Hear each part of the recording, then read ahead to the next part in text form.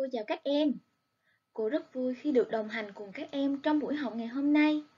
Hôm nay chúng ta tiếp tục học chủ đề Bố mẹ yêu thương, bài mẹ, tập viết chữ hoa e e và viết câu ứng dụng Em là con ngoan.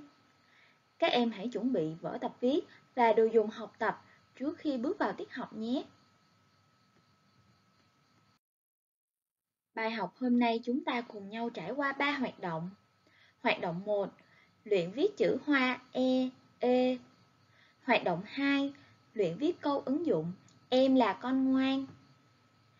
Hoạt động 3. Hoạt động mở rộng. Bây giờ, cô mời các em cùng bước vào hoạt động 1. Luyện viết chữ hoa E, E. Trước tiên, các em cùng quan sát chữ hoa E và cho cô biết độ cao, độ rộng của chữ hoa E là bao nhiêu? Chữ hoa E cao 2 ô ly rưỡi và rộng 1,75 ô ly. Theo các em, chữ hoa E được viết bởi mấy nét?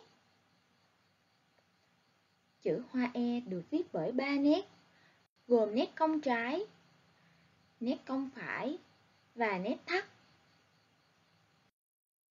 Bây giờ, các em quan sát cách viết chữ hoa E nhé. Các em đặt bút trên đường kẻ dọc 2, dưới đường kẻ ngang 4, viết một nét cong trái, lưng chạm đường kẻ dọc 1. Lượng vòng lên, chưa chạm đường kẻ dọc 3, viết liền mạch nét cong trái thứ hai, kết hợp với nét thấp trên đường kẻ ngang 2 và viết tiếp nét cong trái thứ ba. Và dừng bút trên đường kẻ dọc 2, dưới đường kẻ ngang 2. Các em lưu ý, độ cong của nét cong trái thứ ba rõ nét hơn độ cong của nét cong trái thứ hai. Chỗ bắt đầu viết nét cong trái thứ hai phải ngang bằng với điểm đặt bút. Trước khi viết bài, cô lưu ý các em về tư thế ngồi viết. Một tay cầm viết, một tay giữ trang vở. Em ngồi thẳng lưng, chân đặt đúng vị trí. Khoảng cách từ mắt đến vở là 25 đến 30 cm. Bây giờ, các em hãy bấm nút tạm dừng, luyện viết chữ hoa E thật cẩn thận vào vở nhé. Tiếp theo, các em cùng quan sát chữ hoa E và cho cô biết chữ hoa E có gì giống và khác với chữ hoa E. À, chữ hoa E giống với chữ hoa E, nhưng khác chữ hoa E ở chỗ chữ hoa E có dấu mũ ở trên. Các em cùng quan sát cấu tạo chữ hoa E. Chữ hoa E gồm nét cong trái, nét cong phải, nét thấp và dấu mũ. Bây giờ, các em quan sát cách viết chữ hoa E nhé. Đầu tiên, các em viết như chữ hoa E. Các em đặt bút trên đường kẻ dọc 2, dưới đường kẻ ngang 4. Viết một nét cong trái, lưng chạm đường kẻ dọc 1. Lượng vòng lên chưa chạm đường kẻ dọc 3. Viết liền mạch nét cong trái thứ hai kết hợp với nét thắt trên đường kẻ ngang 2 và viết tiếp nét cong trái thứ ba.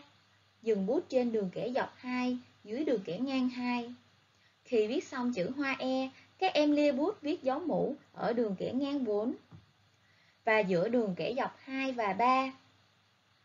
Các em lưu ý, độ cong của nét cong trái thứ ba rõ nét hơn độ cong của nét cong trái thứ hai.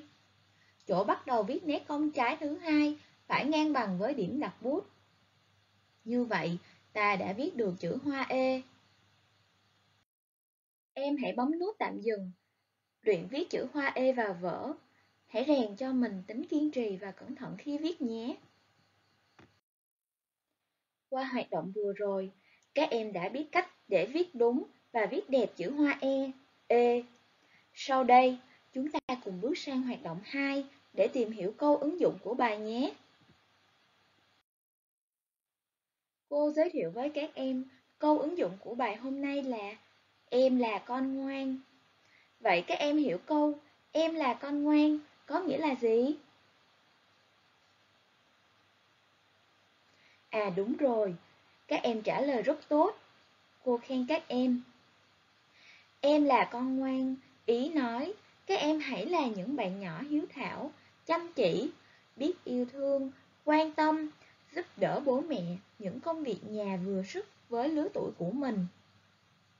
Các em hãy quan sát một số bức tranh sau đây nhé.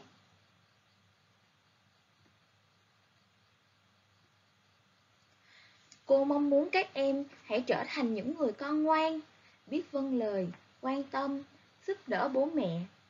Khi chúng ta là những người con ngoan, bố mẹ và mọi người đều sẽ yêu thương, quý mến các em.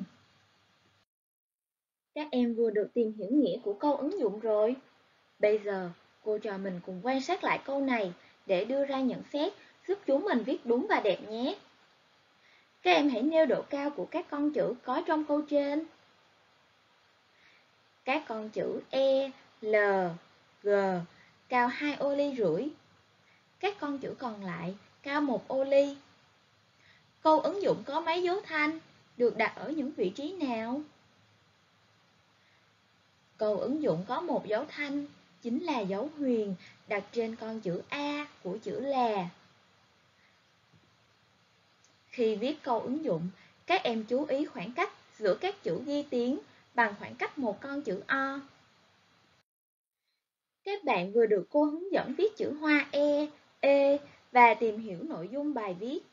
Bây giờ, chúng ta cùng bước sang hoạt động 3, hoạt động mở rộng để tìm hiểu câu thơ sau nhé. Mái chèo nghe vọng sông xa, êm êm như tiếng của bà năm. Trần Đăng Khoa Các em hiểu câu thơ trên có ý nghĩa như thế nào? Các em biết không, mái chèo là dụng cụ dùng để bơi thuyền, là một thanh dài, đầu trên tròn, có tay nắm, đầu dưới dẹp và rộng bản. Câu thơ muốn nói, tiếng mái chèo khua dòng nước nhẹ nhàng như tiếng nói ấm áp, hiền lành của người bà. Ý của tác giả đang muốn thể hiện tình yêu thương, sự kính trọng dành cho người thầy, người cô của mình.